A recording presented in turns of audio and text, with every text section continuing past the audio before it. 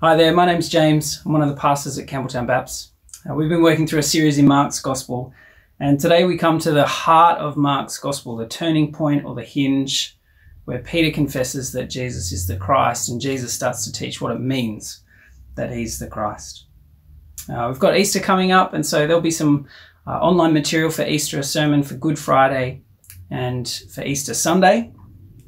And uh, I want to encourage you, if you're able, come along to our services due to the change in restrictions from uh, this Easter 2021. Uh, our, our Campbelltown service on Sunday mornings, we're going to have one service at 9.30 on Good Friday and on Easter Sunday, as well as a 6 p.m. service.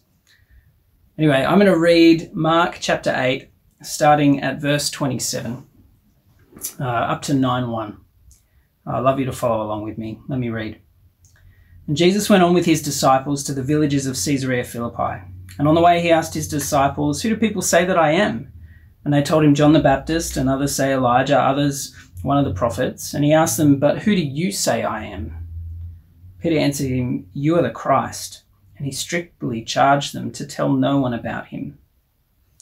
And he began to teach them that the Son of Man must suffer many things and be rejected by the elders and the chief priests and the scribes and be killed, and after three days rise again. And he said this plainly.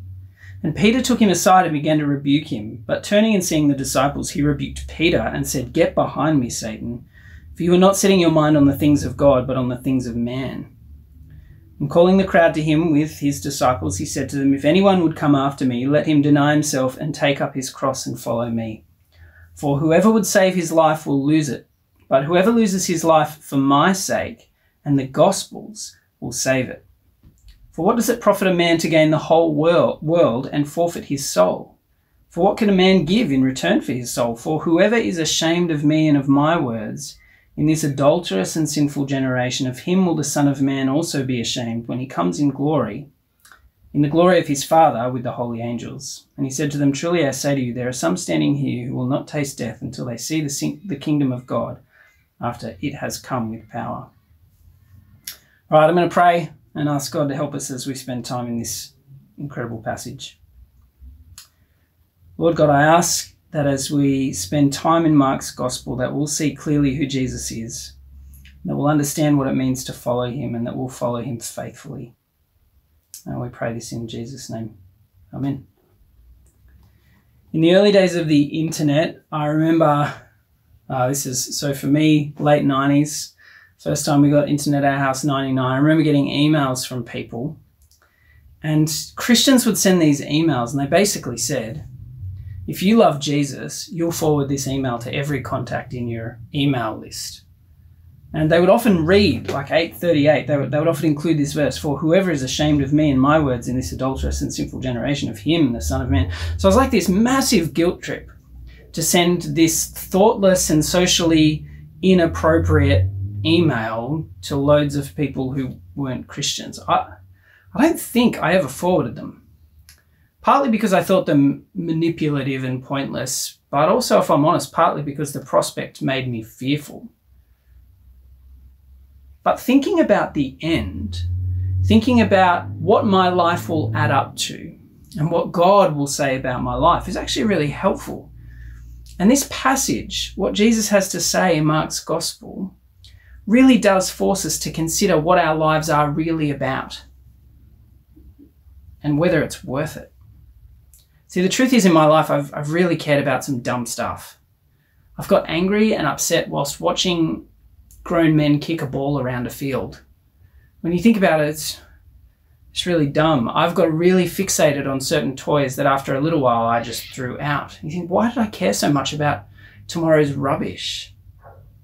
I've argued with people I love over really, really dumb, petty things. And in that moment, I've cared about being right more than nearly anything else. And my guess is you have too. And my guess is if you're anything like me, you still find yourself caring about the wrong things. Most questions in life that people could ask us have very little impact.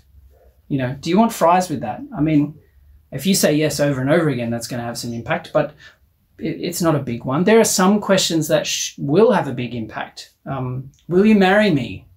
If you're the one asking, their response is going to have a big impact. If you're the one being asked, your response is going to have a big effect on your life. But in our passage today, Jesus asks his disciples the question. I'd argue perhaps the most important question you can answer.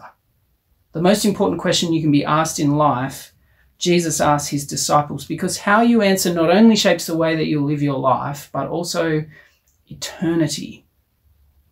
And that question that Jesus asks his disciples, but who do you say that I am? That is not only Jesus' question to his disciples, but Mark records it because it's Jesus' question to you, to us. The thing is, it's not a right or wrong kind of question. It's not a A or B or C or D multiple choice where you tick the right question and then you're good with God. You see, you can answer that question correctly theologically. You can say that Jesus is the Christ and yet completely misunderstand what that means. We see in the gospel, so far in Mark's gospel, the demons are the ones who know who Jesus is, and yet they're not saved. They're not the ones that are part of God's kingdom. It's one thing to answer correctly about who Jesus is, it's another thing to live life in the light of it. And so, if you're watching today and you're checking out the Christian faith, you're investigating who Jesus is, I was so glad that you're watching. And Jesus is asking you to draw some conclusions about who he is. And he's putting forward in really blunt, honest terms what it means to be one of his people, one of his disciples. And I want to invite you to consider that question Who do you say I am? that Jesus asked today. And for those of you who are watching who are Christians, I think most of us can get the, the answer right. We can say Jesus is the Christ. We can say he's the Son of God. We can say lots of true things about him. But the challenging question for us today is are we living our lives in light of it? Are we actually hearing what Jesus has to say about what it means to follow him? And I want to encourage you, in light of what Jesus says in the back end of this passage, Eternity is on the line. This really matters. And so here's the plan. We're going to briefly look at the context of this passage, and then we're going to try and answer two questions, real simple questions. One is, do you see Jesus clearly? And two, what does it mean to follow him? Now, as I said at the start, this is really um, at the heart of Mark's gospel. So far in Mark's gospel, Jesus is the, the rescuing king, the one who heals people, and he shows these signs of the kingdom. He's been moving in and out of Gentile territory and Jewish territory. But here, he starts to reveal the truth that he's not just the rescuing king, but he's the suffering king. And the disciples are confused. They don't see clearly. But from verse 27, when Jesus is in Caesarea Philippi, from there he's going to head directly to Jerusalem and head to his death. Now, if you've got a Bible in front of you, in chapter 8, verse 18, Jesus has a go at the disciples and he says that they can't see clearly. It has echoes of chapter 4, but he's having a go at them for not really understanding what he's talking about. He says, You, you guys, you still don't get who I am and you still don't get what I'm saying. And then in verse 22, we have this account right before Peter's confession of Jesus as the Christ. It's quite strange. Jesus heals a bloke in Jewish territory. He takes him by the hand out of the village and he spits uh, on the guy's eyes and lays his hands on him. He's blind, and the man's sight is only partially restored. It's like, did Jesus not spit enough? Did he say the prayer wrong? Is he lacking power? And he asks the guy what he sees, and he says, I see people walking around like trees, which is a strange idea. And then Jesus puts his hands on him again, and his sight is restored. Jesus sends him home, says, Don't go to the village, head home. Now, on the one hand, this passage points to the fact that Jesus is the Messiah. The Old Testament has promises that when the, the one who will restore Israel's fortune comes, he'll heal the eyes of the blind, he'll open their eyes. But many commentators think that this is a picture of the disciples' sight of who Jesus is. He's just said, You guys don't see clearly. And then there's this partial healing and full sight given to a blind man. And then right after, Peter says, You're the Christ, and then tells the Christ that he's wrong, and Jesus calls him Satan. Now, this should make us pause because it means you can be really close to Jesus and still not understand who he is. You can be in close proximity and miss the point. Um, my grandfather became a Christian sometime in his 50s and 60s, sitting in a Bible study when he was already a warden in an Anglican church, like a deacon. He was a church leader and not a Christian. You can be close to the action and still miss the point. But let's turn to verse 27 and let's think through this question Do you see Jesus clearly? So they're in Caesarea Philippi.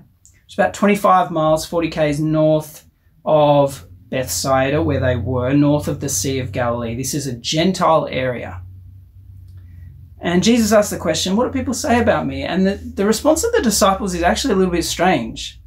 John the Baptist, like John the Baptist reincarnated, maybe the idea that, like after Elijah was taken up to heaven, Elisha had a double portion of Elijah's spirit and miraculous powers. Maybe the Jews were thinking in those terms, but that another answer is that he's Elijah. You know, Malachi 3 and 4 promises that Elijah, who didn't uh, seem to die, was taken directly to heaven, will return to prepare God's people for the coming of God.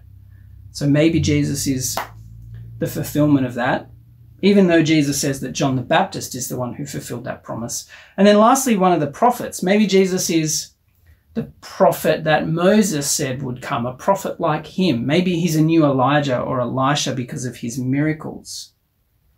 And you kind of get the hunch that Jesus is starting by asking about others' opinions in order to zero in on what their opinion is.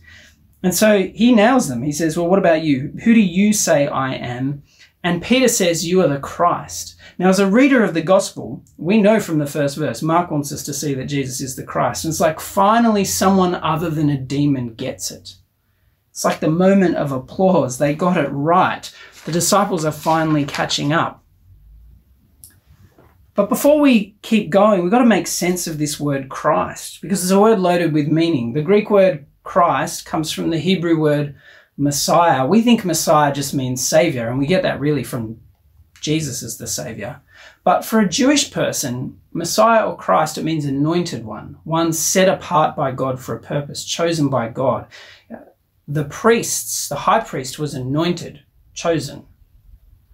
The king was anointed and chosen. Some of the prophets too, but the Christ in Jewish thought really was the promised Davidic king. God said to King David, You will have a descendant on my throne forever. And the Jews were looking for a new David, a king who would rescue God's people, who would redeem them from Roman oppression, who would give them freedom and restore them to greatness, a king whose kingdom will last forever.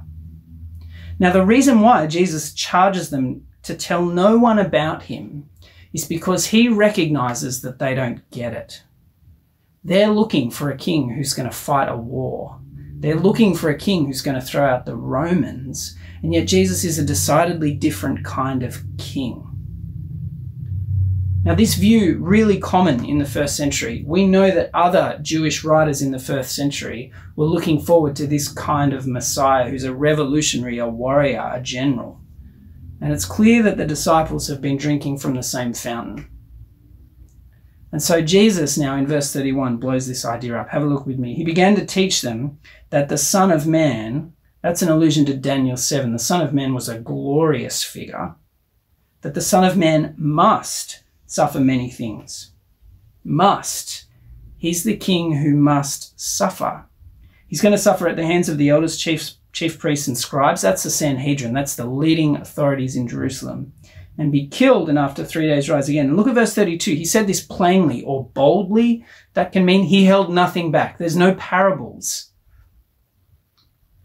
Jesus says, I'm the Messiah who's come to suffer. And no Jew had a suffering Messiah in their category of thinking. And so Peter won't have it.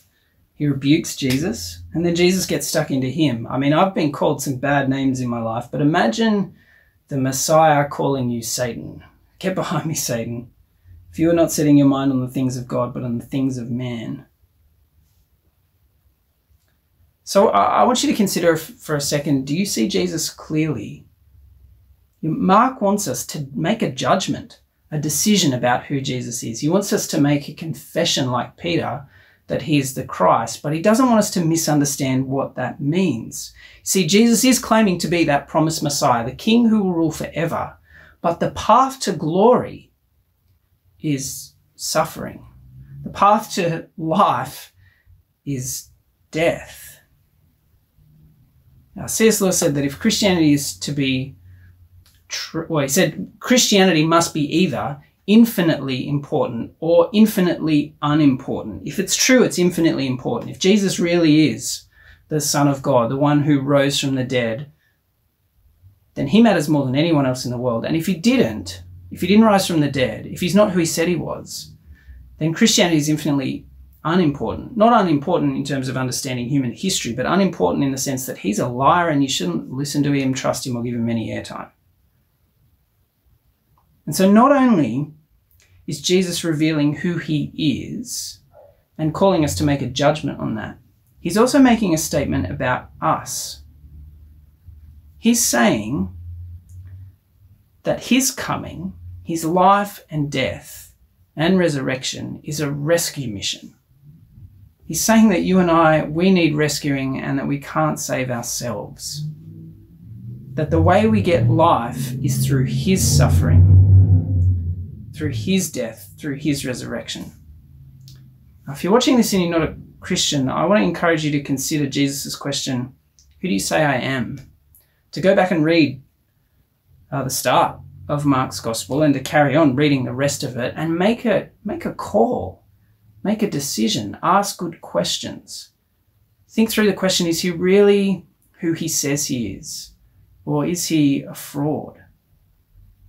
Come to him in your weakness because he comes as a rescuing king. He doesn't come to give us um, a whole bunch of rules and things to do in order that we might be saved, but rather he comes to save and redeem and rescue. But he does it not by killing Romans, but by being killed. He is the unique one in human history. And Romans 10 says that if we confess with our mouth that Jesus is Lord, that is, he's the King, he's who he says he is, and we believe in our hearts that God raised him from the dead, we'll be saved. Mark is inviting you to answer the question who do you say Jesus is? Now, as I said at the start, the answer is not so much demonstrated by the words that you might say as a one off, but by your life. You see, if you view Jesus wrongly, you'll view what it means to follow him wrongly. If you're not a Christian, Jesus is going to put before us in this next section what it means to follow him. And it's not the most compelling sales pitch that people would expect. Yet, if you're a Christian, I want to encourage you to think the challenge here is simple. Are you following him like Jesus says you should? So we've considered who Jesus is. He's the Christ, the one who's come to suffer, die, and rise in order to rescue people. But now we need to consider the question what does it mean to follow him? Have a look at verse 34. He's just rebuked Peter, and now he calls the crowd to himself with his disciples, and he says these really confronting words If anyone would come after me, let him deny himself and take up his cross and follow me. What a sales pitch. The life of following Jesus is one of self denial and suffering. This idea of take up your cross, it's the idea of a crucified, a person who's being led out to be crucified, carrying the crossbeam on their back. Probably carried out, probably completely naked, shamed, humiliated, to die a cruel and brutal death. So you got to ask the question well, who would get excited about that? The first thing we need to consider is what he actually means. So here's the, here's the first thing I think. When Jesus says, let him deny himself, he means that to be one of his followers is to live a life of self denial. It doesn't mean that you would do the opposite of any desire. I'm hungry, I therefore won't eat. I'm thirsty, I therefore won't drink. You know, it's not saying that. But rather, he's saying that because he's the Christ, the King, the promised one, that to follow him means having Jesus rule over every area of your life, especially in those areas you want to hold on to. And I guess uh, here's a question that will help you think this through. What is the goal of your life? What are you hoping to do with it? What are you hoping to achieve? Is it a certain job or a certain level of financial freedom? Is it certain relationships? Is it health or comfort? And is the goal of your life about you? Where does Jesus' kingdom fit? Does it? See, Jesus says, if you want to be my disciple, you must submit to me as king. You must submit to me all of your wants, all of your ambitions, all of your dreams to him. He says his kingdom is the only one that matters, and our kingdoms must die. It's just the idea that you don't fit Jesus into your life somewhere, Jesus becomes your life. He calls us to a life of sacrifice for the sake of his kingdom. It's a complete reorientation on what a person's life is about, where Jesus, the King, the Christ, the promised one, rules over everything you have and everything you are. It's not, I'll make room for Jesus. I'll let him into some aspects of my life. And it's certainly not, I'll ask Jesus to serve my kingdom. You know, a, good question to consider is are you playing God in your life? Are you wanting Jesus to serve your own agenda? Jesus says to Peter and to us that that attitude is satanic. That that approach to Jesus, where Jesus exists to serve your purposes, is evil. It's setting our minds on the things of men rather than the things of God. And so following Jesus means my life is about Him. I will deny myself in order to submit to his purpose and his rule. But it also means suffering. That, that image, take up your cross. I mean, it's a picture of painful self denial. And it's a real picture because Mark is writing to Christians in Rome, many of whom suffered under Roman oppression under Emperor Nero. Some of them were crucified. Mark is saying to these first century Christians, embrace pain and humiliation for the sake of Jesus. And that is confronting. See, our culture, we love convenience and ease and comfort. We don't like to admit it, but we are often like Veruca Salt, Charlie in the Chocolate Factory. You know, we want the world. We want the whole world. We want to, what is it, wrap it all up in my pocket. It's my, my bar of chocolate. Give it to me now. We don't say it as bold faced as that most of the time, but our hearts long for what we want. We want what we want. If you're watching this and you're a Christian, the question is, are you any different? Are we as Christians spending our days trying to gain the world? Do we do all we can to avoid pain? Are we happy to serve as long as it's convenient and doesn't cost anything? Are we happy for Jesus to give us good things, but we're actually holding on to our money and our time and our comfort with bare knuckled stubbornness? See, Peter, his imaginations of Jesus's rule as Messiah. Peter wants worldly comfort and status and glory and power. He wants to rule beside Jesus. He is not interested in following a crucified king. And I think the truth is, we often are very much like him. Our lives betray it. Sure, we do some good, but we often use that good we do to pat ourselves on the back and justify our hold on to everything else. If you're not a Christian, Jesus is not doing a bait and switch here. He's laying out very clearly what it means to be one of his people, what it means to be a Christian. To acknowledge him as the Christ, the King, and then to live out your life in submission to him as King no matter the cost. This image of the cross, it's not simply a metaphor, but for many Christians in the first century, a reality. Jesus calls you to come to him in, his in your weakness and offer him everything. And Christian friend, the, the question for you is, are you really a disciple? Is your life actually satanic? Where Jesus exists in a nice little space that you seek to control and you want him to serve your agenda rather than you be a subject in his kingdom. If you're confronted by that, I want to encourage you to repent. If you're convicted that your following of Jesus comes with a whole lot of special conditions, a bunch of asterisks and caveats, then admit it, confess. The beauty is that this king is ready to forgive. And so Jesus is the Christ who calls his followers to come after him, to deny self and take up their cross. And so uh, that begs the question why do it? Why would anyone be a Christian? Uh, I want to show you as we finish three reasons why this is the best news in the world. And here's the first one Jesus does it first. Have a look. He says, If anyone would come after me, let him deny himself and take up his cross and follow me. And then Jesus denies himself, heads to Jerusalem, and he takes up his cross and he forfeits his life, his very soul, his very self, to rescue you and I. He does it, and he did it for you. He offers the most pure, the most deep and profound love that there is. He seeks our good despite his own rejection. He's totally selfless and totally vulnerable on the cross.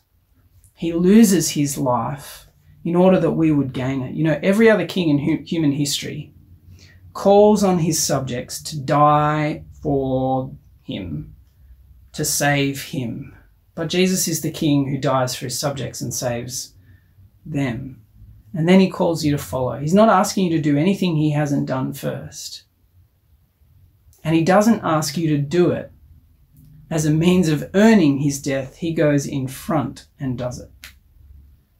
So why why deny self and take up your cross? Well, because Jesus does it first in love for you. That's the first reason. Here's the second one. Following him in this way leads to life. There are some things in life that are counterintuitive. You do the opposite that you think you should. Like in the movie Cars, Lightning McQueen needs to learn to turn right to turn left. I, you know, I don't really get about drifting in my car, but I'm, I'm just going to trust him that that's how it works. But look at verse 35. For whoever would save his life will lose it, but whoever loses his life for my sake and the gospel's will save it. Jesus says, if you want to live, give up your life. It, it sounds completely, it is completely counterintuitive. But Jesus is saying when we as humans cling to worldly things over and over, we're actually clinging to death. When we try and save ourselves, rescue ourselves, we cling to death. But when we we forfeit our life for Jesus' sake and for the sake of his gospel, that he's the king, that the kingdom of God is at hand, that he's come to rescue us. There's life. Life is found in that. I put it this way try and cling to your kingdom and your agenda, you'll lose everything. But if you give up everything, you get life. You know, in Australia, in the West in general, when you compare our lives now to all of human history, we're really richer than ever, healthier than ever, we live longer, we have greater luxuries, greater education, more leisure, more freedoms than nearly any other people in history. And yet, culturally, we're more anxious and overwhelmed and unhappy than ever. Jesus is pointing out that if you try and live your life to gain the whole world, you will lose it. Live your life to gain status and you'll lose it. Live your life to gain money, you'll die and lose it. Live your life in order to be loved by everyone because of your beauty. You'll get ugly. But when you lose everything for His sake, you gain life. You know, maybe the reason, if you're, if you're a Christian watching this, maybe the reason why your faith so often doesn't satisfy your soul or give you joy or peace. It doesn't move you in any ways because you're actually trying to use Jesus to fulfill your worldly desires. Because you think that if Jesus would just give you that thing that you really want, then you'd be happy. And maybe God, in His mercy, is showing you the emptiness of that. See, Jesus says to have Him and lose everything else in your life is to be better off than the person who doesn't have him and has the entire world. Resolve, if you're a Christian, to give it all up, to, to relinquish your control. It doesn't mean that you will sell everything that you have and go and live on the street, but it does mean that you submit to Jesus as King, that you, you seek to honor Him in every area of your life, that you're ready to experience cost and loss for His sake, and that you'll count it joy and cling to Him above all. So, why deny self, take up your cross, and follow the Christ? Because Jesus does it first, because it leads to life. And here's the last thing the final reason to remember. Verse 38 is haunting. I, I started with this verse, you know, for whoever is ashamed of me and my words in this adulterous and sinful generation, of him will the Son of Man also be ashamed when he comes in the glory of his Father with the holy angels. Here's the truth. There are times in my life where I've been ashamed of Jesus. And so this verse can scare me. Uh, you know, like we feel like if we get it wrong that we're doomed. And I want to encourage you to remember some really foundational truths. We are saved by Jesus' self denial and suffering. We never ever earn grace. And in Mark's gospel, Peter will talk a really big game. He says, I'll never be ashamed of you, I'll never deny you. And then at Jesus' most desperate point of need, Peter denies even knowing Jesus. And yet, at the end of Mark's gospel, after the resurrection, the angel says, to Mary, Go, tell his disciples and Peter that he is going before you to Galilee. We're going to talk more about this at Easter as we look at this passage in a little more depth. But what's amazing is that Jesus' heart towards Peter and towards us as we get it wrong is one of tender mercy and compassion. Jesus fails, sorry, Peter fails as abysmally as any disciple could, and yet Jesus shows him grace. And so, if you've listened to this and, and felt really overwhelmed, you, you feel like a failure, you, you recognize that you so often use Jesus for your own agenda. You have your mind set on the things of man rather than the things of God. Don't imagine that Jesus' heart is hard towards you. His heart is one of tender mercy. The whole reason he came to rescue us, to be the suffering king, is because he knew that we could never save ourselves that we're prone to get it wrong. And tasting his kindness and grace is actually the thing that changes everything. His grace is lavish and ready. So let me sum up as someone nearby starts a lawnmower. Jesus is the Christ and he calls us to acknowledge and confess him as King. And following him means self denial and suffering, and that in that there is life and glory as we lay down our lives and selves for Him. Uh, preparing this, I found this passage so confronting because the honest truth is, by nature, I don't enjoy self denial. I don't like sacrifice or suffering or humiliation. And it's good to know that Jesus isn't calling us to seek out pain in some sort of perverted way. But I have found it to be true that the more that I marvel at the God of the universe, who would love me like this, Jesus would leave the glory and comfort of heaven, deny himself, and literally take up his cross to rescue me from my satanic ways. As I see Jesus' supreme value and worth, that the King of the universe loves me, uh, it melts my heart. And I actually find that I begin to want to see His glory and I want to lay my life down. I want to give all I can for His glory because He's been so good to me. I find that forgetting myself actually leads to joy, and that only thinking of myself only leads to pain. The more I forget myself, the better life is. And so, my prayer for you has been for us that we would remember how far short we fall, that we would be reminded that we have nothing to offer God, and that we would remember how big Jesus' grace is to those clumsy, foolish disciples, to Peter, and to us. And so, friends, I want to encourage you to hear the words of Jesus because of his grace and his love, because of his salvation, he rescues us from ourselves and our sin and our foolish ways. Deny yourself, take up your cross, follow him. Because laying down your life is the only way to life.